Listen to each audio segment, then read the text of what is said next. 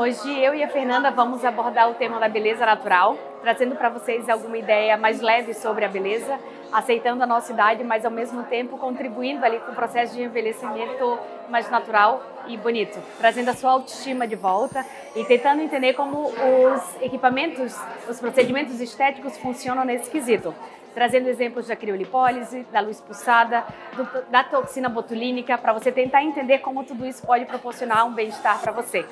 Hoje nós atendemos aqui na Lixo Medicina Saudável, em Balneário Camboriú.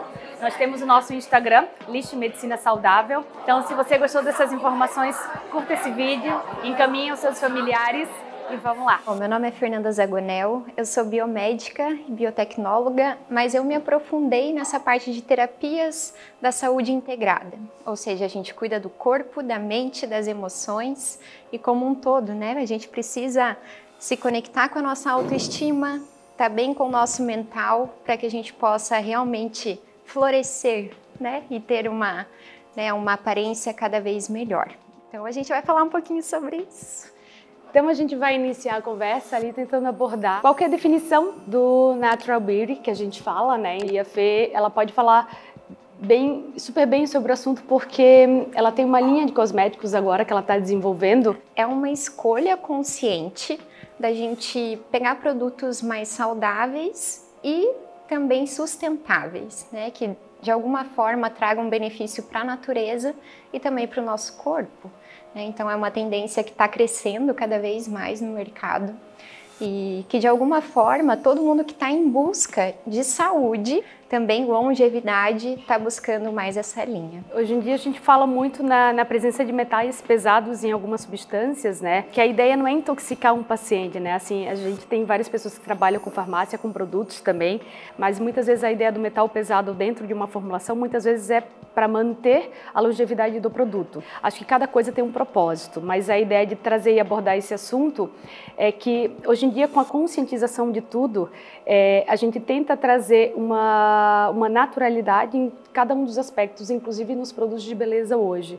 Que a ideia dos produtos, digamos, mais leves, assim, mais naturais, é que também não existem testes em animais, o que uma boa parte da população já está recorrendo a isso. É um nível de consciência maior. Em vez da longevidade dos produtos, a gente está buscando longevidade da gente, da nossa saúde, do nosso corpo, né? buscando realmente uma vida mais saudável. E daí a gente já pensa um pouco mais também nessa parte planetária, né? de sustentabilidade do meio ambiente, dos animais. Então é bem bem legal. Assim. E que, na verdade, a beleza ela pode ser sustentável também, né? Cada um desses produtos, apesar deles, deles serem mais naturais, não quer dizer que eles durem menos. Muito pelo contrário, hoje em dia existe muito a nossa capacidade técnica também de formular produtos, digamos, com uma boa capacidade, inclusive para tolerar vários tipos de peles mais sensíveis que hoje em dia a gente tem é, trabalhando na parte médica, a gente sabe, na parte da saúde, na verdade, a gente sabe que existem pacientes mais sensíveis, outros um pouco mais resistentes, né? E a ideia da formulação desse tipo de produto é basicamente ter essa versatilidade e conseguir se adaptar a vários, a, a, aos vários tipos de paciente, aos vários tipos de pele também. A gente vai começar a abordar um pouquinho sobre a parte da harmonização facial, a harmonização corporal, né, e trazer essa parte da, da simetria, digamos, em pauta agora, né, para a gente tentar discorrer um pouquinho sobre esse assunto. Existe é, vários tipos de corpo que a gente chama, né? Hoje em dia a gente pensa muito em vários, vários padrões, uh, mas existe o genético que está dentro de nós, apesar de que hoje em dia a epigenética consegue modificar muita coisa, mas hoje em dia existem vários tipos de corpo, os principais é o ectomorfo, o mesomorfo e o endomorfo. Né? O que, que é isso, nesses nomes estranhos que a gente chama? O mesomorfo é aquele paciente que tem aquele corpo que o paciente fala para você, eu engordo muito fácil, eu perco peso muito fácil, então se eu quiser ganhar massa muscular amanhã eu vou ganhar, mas se eu quiser emagrecer eu também vou ganhar. É aquele que a gente consegue ter um jogo de cintura tanto para mais quanto para menos, desde que a meta calórica, a meta nutricional ali esteja bem adequada para a estratégia do paciente. Já a, aquele paciente que ele é mais ectomorfo, ele tende a perder mais peso mais rápido, ou seja, aquele paciente que tem uma taxa metabólica basal relativamente alta e a gente consegue muitos deles vêm com o objetivo de ganho de peso. Eles precisam ganhar peso e quando eles passam uma semana sem comer por um motivo X, eles emagrecem muito rápido. E não fiquem pensando que esse é o mais fácil de trabalhar, que muitas vezes não é. Né? Muitas vezes é um, é um corpo muito difícil de trabalhar, é um corpo é, é, demanda muita energia e a gente precisa dar muita energia, muita caloria para esse paciente não é fácil. E um outro corpo que a gente sempre fala e que talvez para vocês seja um pouquinho mais tangível, mas não porque é mais fácil encontrar, mas é porque talvez o diagnóstico seja mais fácil para vocês, que é o corpo endomorfo, que é aquele que consegue engordar de forma muito mais rápida, principalmente na região abdominal, e isso traz para nós, né, principalmente nessa região que tanto incomoda, o aumento do nível de gordura visceral. Isso acarreta consequentemente um enfim, um risco cardiovascular maior, né? Então a gente vai discorrer um pouquinho sobre esse assunto, né? A Fê pode falar um pouquinho sobre o que ela vê em relação a essa, esses vários tipos de corpos, os estereótipos também. Sim, na verdade é mais sobre uma autoaceitação, primeiro do nosso pacotinho, né? A gente entender que cada um tem um corpo, cada um tem uma forma de conduzir e como a gente pode melhorar através do nosso biotipo de corpo. Eu tenho uma filha e uma enteada. A minha filha é bem magrinha, a minha enteada ela já tem né, o outro tipo de corpo que ela engorda com muita facilidade. E nessa idade, né, pré-adolescente, 10 e 12 anos, elas começaram a se comparar.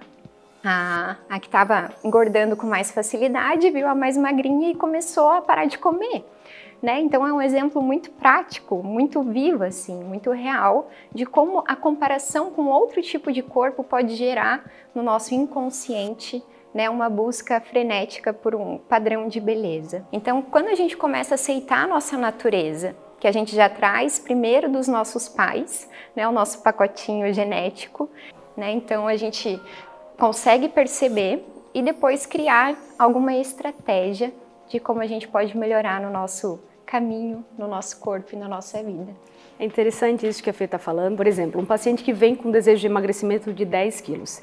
O paciente chega a perder esses 10 quilos. Depois ele continua olhando no espelho e fala que, que, ele continua gordo, que ele continua com o mesmo desejo de perder mais 10 quilos. Então ele não consegue perceber a diferença dele nesse processo evolutivo e ele ainda continua com esse desejo de perda de massa gorda. Isso não é certo, não é errado, mas muitas vezes ele não consegue ver é, a evolução que chegou, isso não quer dizer que está errado sempre querer perder 10 quilos ou perder 5. Porque realmente, às vezes a gente muda a nossa estratégia, né? Às vezes, ah, vim aqui e perdi 3 quilos. Gostei mas eu quero perder mais dois, porque eu acho que eu vou, enfim, entrar no vestido, vou fazer um evento X e eu acho que não é, não é errado a gente mudar de estratégia, mas sim, é, quando a gente fala de distúrbio de imagem, o que a Fê está querendo falar é que muitas vezes a gente não consegue enxergar de forma objetiva, ou seja, eu tenho a minha opinião sobre a minha visão no espelho, como eu me enxergo, mas quando uma outra pessoa me olha, a opinião dela é totalmente diferente da minha. Por isso que a gente tem que diferenciar quando realmente é um desejo, é uma melhora de composição corporal ou quando realmente o paciente tem um distúrbio de imagem, que aí é quando começa a aparecer algo mais patológico, existe a necessidade muitas vezes de um tratamento, enfim, terapêutico, um tratamento medicamentoso, e a Fê também pode falar um pouquinho sobre isso, como que a gente consegue lidar na nossa prática, digamos, esse tipo de conduta com o paciente. Primeiro seria trazer dados reais, né? Vamos ver o corpo, vamos sentir, vamos entender como que está no aqui no agora. E depois é o passo por passo, é o processo. A gente estava falando, né, que todo processo de melhoria do nosso ser, seja emocional, seja do corpo, seja no trabalho, seja nos relacionamentos, a gente tem um processo.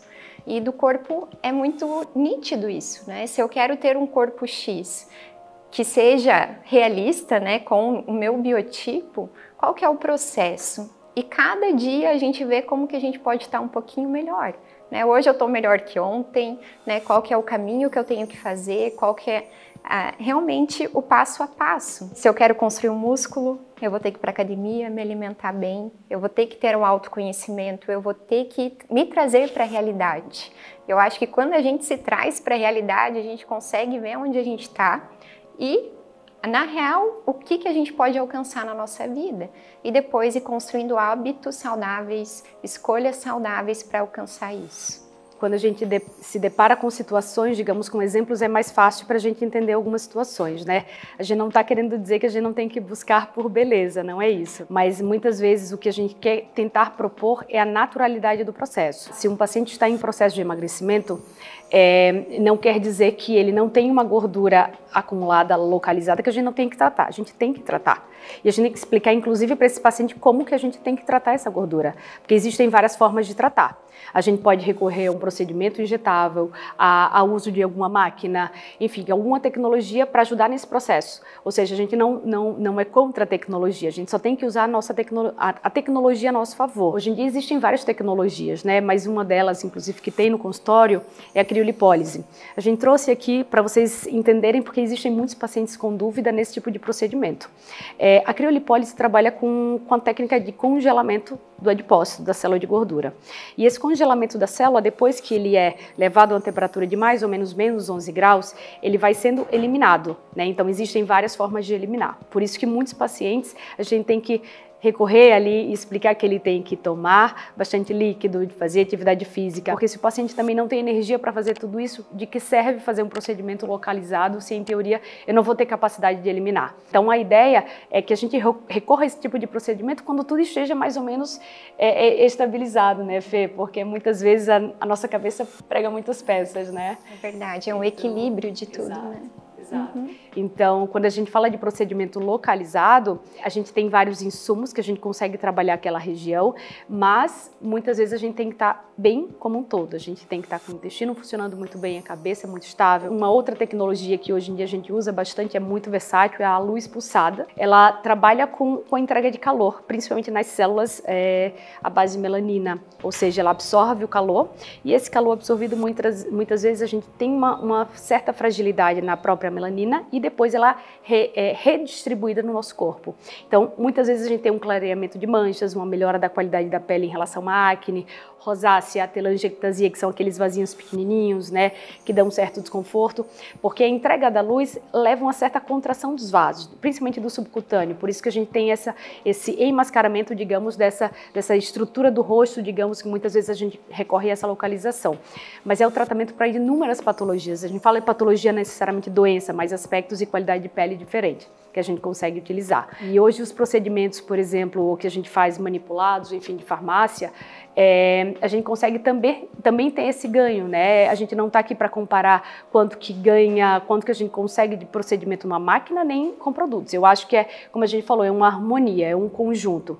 Então, se a gente consegue trabalhar com produtos manipulados feitos com aquele paciente, com tecnologia adequada, de forma mais natural possível, e a gente consegue entregar um serviço estético nessa parte de equipamento e unir essas duas coisas, ou essas várias coisas, o paciente tem um efeito, digamos, muito melhor. E, e é muito mais fácil de trabalhar com menos efeitos colaterais, né, Fê? Então é interessante mostrar tudo ele, to, é todo o processo para o paciente, né, que é, é, é, uma evolução, né, Fê? Sim, e facilita a vida, né? Você vai fazer, faz o procedimento e isso, né, afeta com certeza a nossa autoestima, né? Se a gente trata ali a pele, deixa ela limpinha, se a gente consegue fazer alguns procedimentos, a gente consegue também alinhar algo interno, né? Talvez seja algo que está lá dentro, falando, não, eu preciso melhorar isso.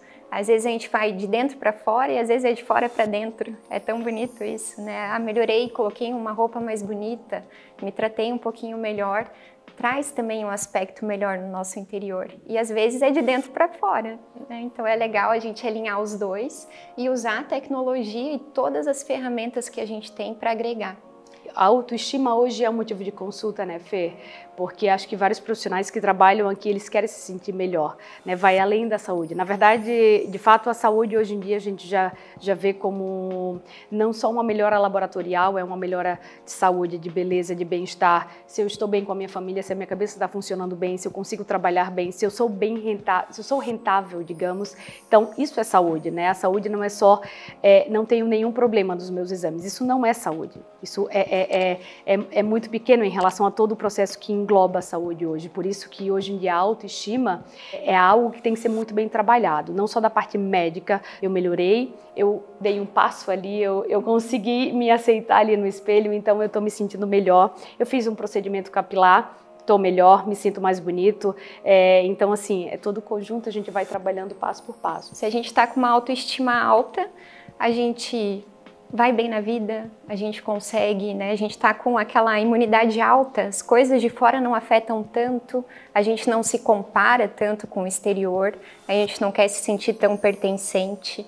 Então, quando a gente está com a autoestima alta, realmente a gente está imune a qualquer outra coisa. Mas quando está baixa, ixi Maria, a gente se compara e entra na rede social, aí eu preciso melhorar tudo no meu corpo. Então, quando a gente começa a trabalhar e fortalecer o nosso sistema imune, que é a nossa estima, né, a, a forma quando a gente se vê, aquilo que a gente se valoriza, então a gente consegue realmente ir para o mundo com mais força. Eu acho que é algo a ser trabalhado como base mesmo.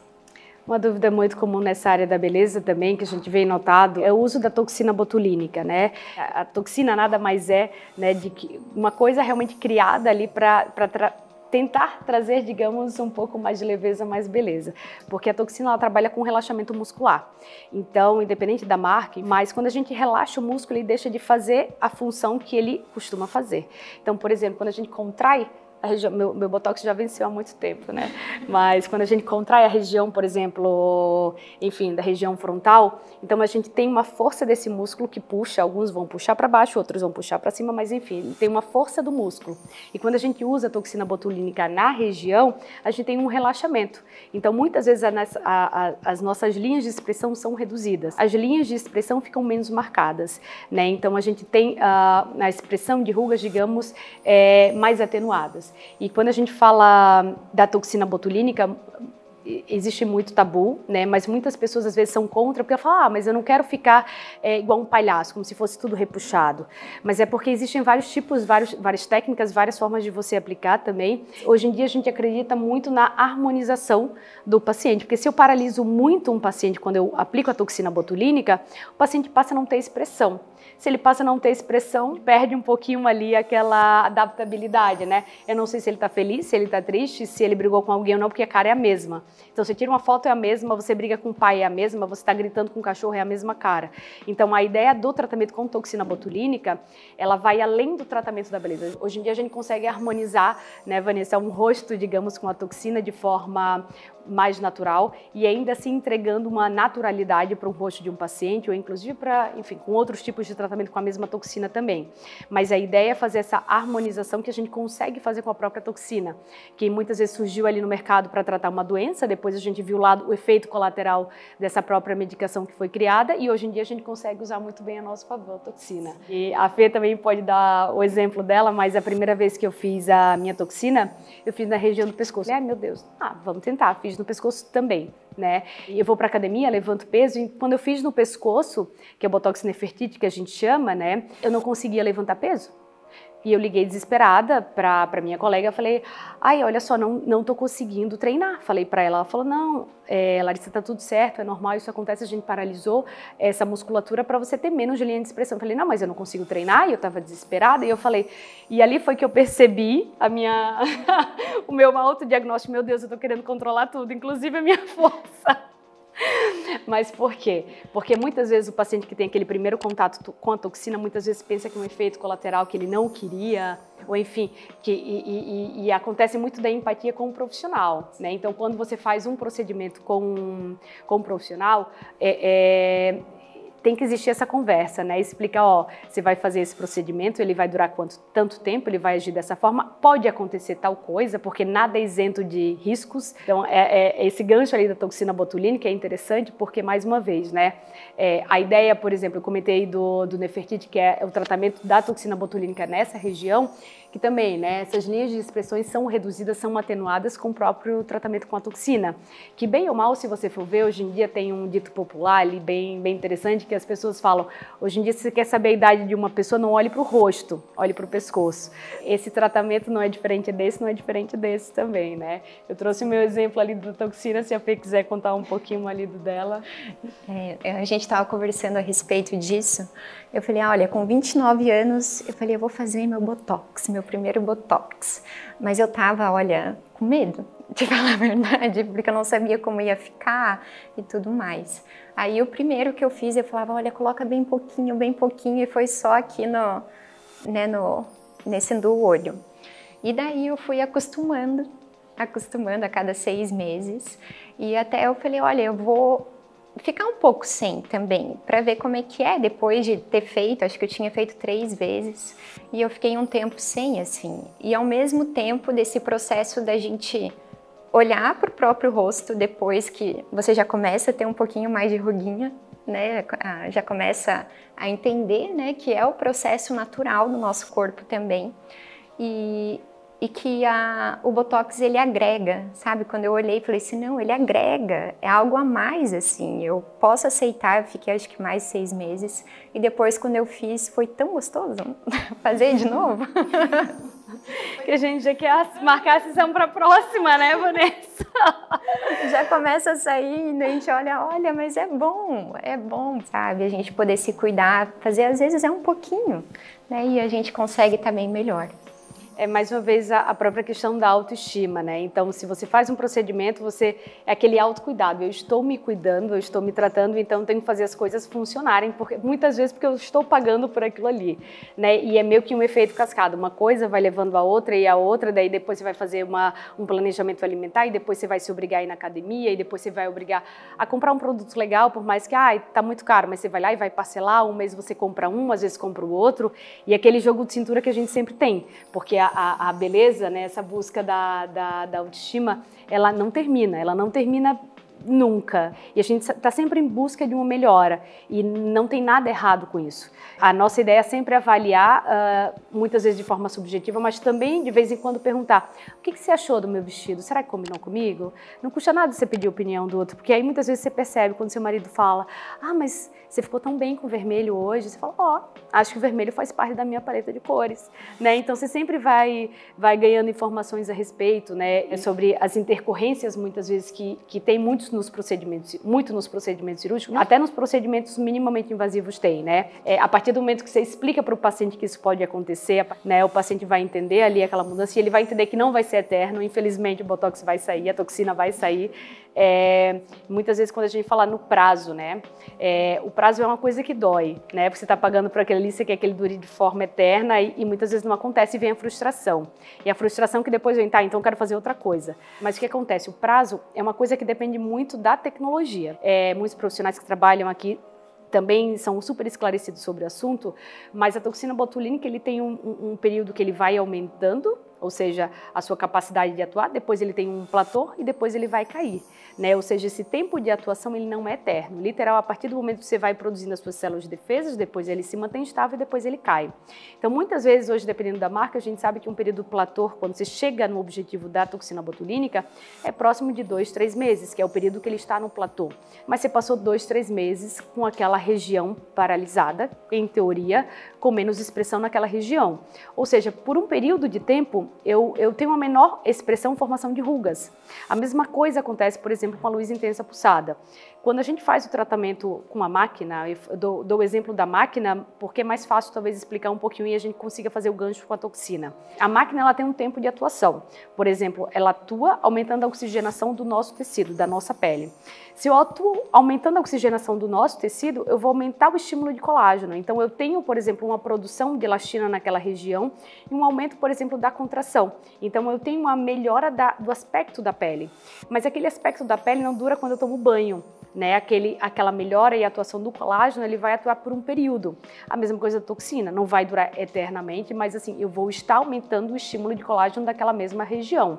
Por isso que os procedimentos, quando a gente fala procedimento com as máquinas, ou inclusive os procedimentos cirúrgicos, quando a gente fala em tempo de time, que a gente chama, né, a gente tem que pensar nisso, qual seria a indicação por quê? Quanto tempo? Qual que é a melhor época que eu tenho que fazer e por quê? Porque se a gente for falar, por exemplo, dos procedimentos com a luz intensa pulsada, Muitas vezes quando a gente fala, enfim, de um clareamento de pele, muitas vezes não tem contraindicação, mas assim, o paciente não vai poder se expor à, à luz solar posteriormente por um período, ele vai ficar um pouquinho vermelho também por um período, mas depois passa. Ou seja, tudo tem que ser bem avaliado e bem indicado para o paciente, porque cada procedimento tem uma forma de indicar é, o tempo de atuação, quando que ele teria que reaplicar ou não, tudo isso tem que ser avaliado e pensado. Por isso que pensar, né, Fê, na situação do paciente muitas vezes é importante. De, ah, tá, pretendo engravidar no final do ano, o que, que eu posso fazer até lá? O paciente ou a paciente já está imaginando que ali no final do ano ele já vai engravidar. E naquele período ela consegue se tratar com o procedimento XYZ. Por quê? Porque ela já está planejando uma gestação. Então, hoje em dia, quando a gente tem, por exemplo, uma, uma, um objetivo do paciente, quando a gente chega e pergunta em que, que eu posso ajudá-lo, né? o paciente fala, ah, meu objetivo é esse, é aquele e você também, como profissional, tem que se perguntar e tem que perguntar para o paciente, tá, mas depois que você fizer isso, qual que é o próximo objetivo? Porque tudo que eu fizer hoje vai implicar numa decisão amanhã do paciente ou em algo que ele não consiga fazer posteriormente, né? Então a conversa com o paciente, a empatia, a discussão do caso, o envolvimento familiar é importante, né, Fê? Porque os nossos objetivos, né, essa projeção para o futuro tem que estar tá muito alinhada. Né? Então, se eu faço um procedimento e depois a, a minha, né, vou engravidar, vou ter um filho daqui a pouco, vai mudar completamente as prioridades. A gente vai mudando constantemente, a gente vai aumentando e mudando a nossa visão de mundo. Então, esse contato maior com o médico, com né, o profissional que vai fazer os procedimentos é muito importante, porque daí vai mais a, um nível mais a fundo, né? Senão fica muito superficial. Ah, arrumei aqui, tá tudo certo, mas quando a gente vai mais a fundo mesmo e conhece a pessoa, conhece a sua intenção, seus objetivos, tudo isso fica muito mais fácil para seguir né, com tratamento, com todos os procedimentos. E, e, é interessante que hoje em dia a gente usa muitas coisas para poder fazer essa comparação. Né? Quando a gente faz um procedimento, como que a gente sabe se deu certo ou errado? Uma coisa é a percepção do paciente. Ah, eu achei que ficou legal. É a opinião dele. Mas eu preciso de algo que não seja subjetivo, digamos, um processo de avaliação. Né? Então, quando a gente faz uma análise de composição corporal, quando a gente faz uma bioimpedância, quando a gente faz prega, quando a gente tira uma foto, por exemplo, a gente consegue fazer esse gancho, esse paralelo. Tá, aquele dia quando eu fiz o meu Botox, por exemplo, a minha toxina, eu fiquei melhor, mas aquele lado puxou um pouquinho mais. Talvez eu vou deixar para fazer ah, em janeiro, porque depois eu vou fazer uma viagem X, mas eu preciso ter parâmetros objetivos no processo. Que de nada adianta eu fazer um procedimento e depois eu não conseguir comparar para saber se realmente teve, teve uma melhora ou piora. Porque hoje em dia eu recebo algumas queixas no consultório assim. Eu acho que meu botox está durando menos. Ou o meu preenchimento labial está desaparecendo. Estou fazendo e um mês tá, o que está acontecendo? E hoje em dia a gente estuda muito por que, que os procedimentos, se realmente é algo subjetivo ou objetivo do paciente, né? Porque eles vão lá, mudam a marca do, por exemplo, do preenchedor, muda o profissional, mas muitas vezes a queixa permanece. E às vezes a queixa permanece porque não houve um, um, uma capacidade de comparar. Esse dia eu fiz o procedimento, mas ao mesmo tempo eu estava fazendo esse outro que interagiu.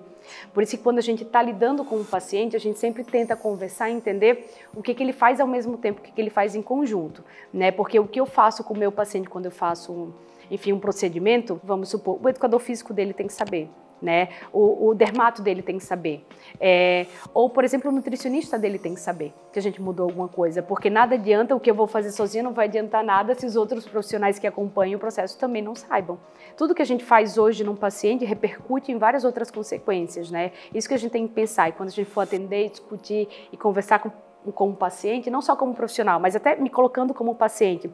Quanto mais informação a gente dá para o profissional que a gente está querendo é, é, buscar um acompanhamento melhor. Se ele sabe que eu sou casada, que eu tenho um filho, que eu faço isso, que eu faço atividade física, que eu viajo, é, é ele vai conseguir ter um jogo de cintura para fazer um tratamento que eu consiga seguir. Porque se ele me propor um tratamento e eu não consigo seguir, também não vai adiantar muita coisa, né? Porque se a gente tiver que mudar várias vezes, a gente muda várias vezes. Mas o mais importante é que essa intercorrência não tenha repercussão tão importante na vida do paciente. E se tiver, vamos tentar resolver o problema, né? Vamos tentar ir, não, vamos além, vamos tentar fazer isso agora, depois isso, depois aquilo e buscar ajuda. Então, assim, a ideia dessa, dessa conversa, digamos, é basicamente trazer para vocês, assim, essa ideia da beleza, mas a ideia da beleza mais natural, que mesmo usando a tecnologia a gente consegue ter produtos mais clean, que a gente chama, né, sem agredir tanto o meio ambiente. Hoje em dia a gente consegue ter preços muito é, é, muitas vezes assim acessíveis dentro de tudo, tendo em vista tudo que está por trás da, da, da dinâmica envolvida no processo, que não é fácil. Tentar colocar a parte da estética não de lado, mas muito pelo contrário, como nosso maior aliado, né? Que eu consigo fazer um procedimento localizado, eu consigo fazer um procedimento de melhora de rugas, de melhora de expressão, produção de colágeno, desde que tudo isso esteja mais ou menos conversado, que o paciente saiba e entenda quando ele tem que fazer, por que, que ele tem que fazer, que associações ele pode, ele pode ter para ter uma melhora, um aproveitamento, digamos, do próprio procedimento. Quando a gente consegue usufruir dessa forma, é, eu acho que todo mundo ganha, né? O paciente ganha porque sente que, em teoria, teve um tempo mais longevo no procedimento. Ele ganha porque ele foi bem atendido, ele foi, ele escutou, foi escutado, né? As queixas foram ali bem atendidas e o profissional se sente, se sente feliz porque fez um bom procedimento, um bom atendimento, um bom, bom pós-venda. E hoje em dia os cosméticos estão aí para nos agregar, fazer parte do tratamento em conjunto e, e, enfim, acho que tudo vem, tudo vem a somar, né, Fê? É uma integração, né? A gente pode usar tudo a nosso favor, né? E de uma maneira mais saudável, mais consciente, entender o paciente como um todo e entendendo que tudo aquilo que a gente vai fazendo no nosso corpo, na nossa mente, a gente está plantando de alguma forma para o nosso futuro. Então, qual é a imagem que a gente quer projetar lá para frente? Como a gente quer envelhecer? Né? Então, eu acho que é mais uma escolha consciente de como a gente pode fazer, integrar, escolher né, com mais consciência. Mais uma vez, né, só, só voltando a algumas definições. A criolipólise nada mais é de um congelamento da gordura de uma, de uma área que eu tenho gordura localizada. Né? Então, esse processo de congelamento do adipócito, depois eu tenho uma, uma obrigação de relocalizar esse adipócito. Na maioria das vezes a gente quer essa eliminação.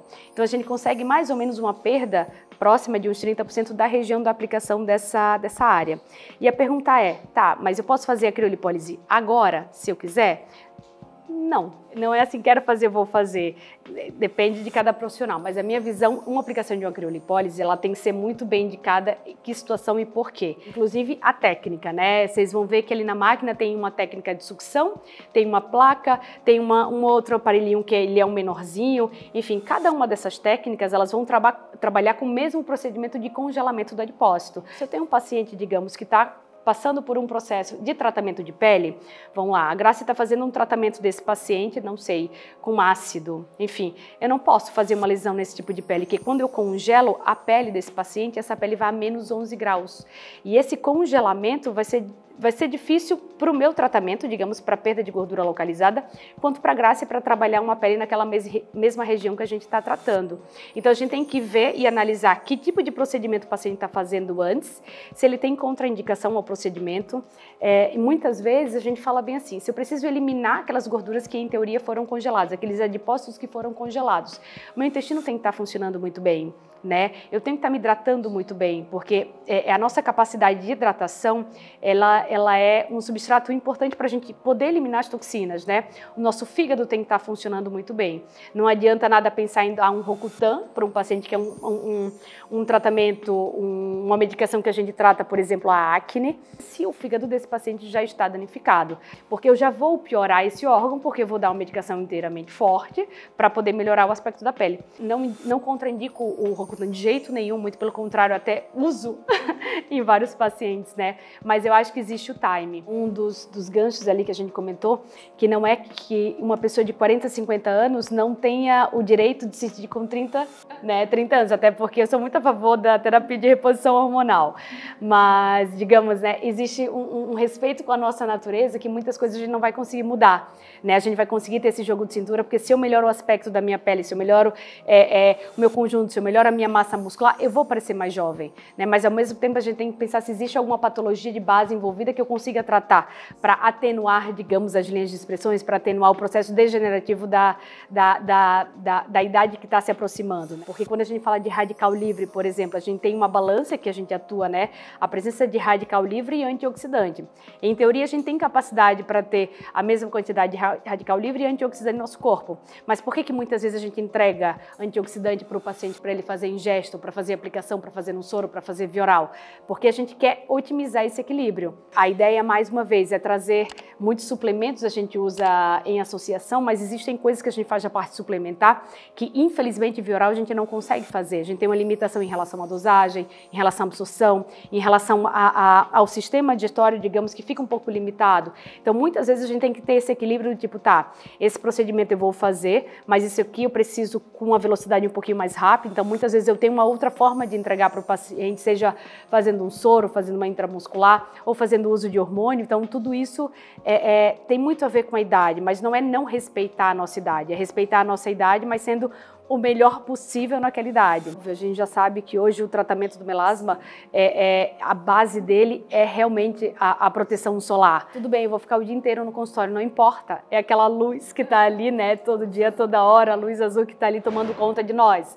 Então, o, o, o, o tratamento do melasma não é só se você vai se expor na praia. Uma coisa muito interessante e primordial é, são as fotos, né, que a gente vai foto nesse dia, foto naquele dia, depois desse dia você estava assim, e você mostra para o paciente, você entrega a objetividade do processo. Dentro do subjetivo, tudo dentro do que ele acha, que ele opina, que ele. Ah, mas eu acho. Não, você está achando, mas isso é objetivo, isso é um número, isso é uma foto, esse é tal dia, isso você estava assim, aqui você estava grávida, aqui você estava usando tal hormônio, porque o paciente tem que estar consciente disso, ele tem que entender também. Né? Então, era essa, essa sinergia, a ideia do autoconhecimento, a ideia do timing de cada paciente, né? Então, essa essa era a proposta da nossa conversa.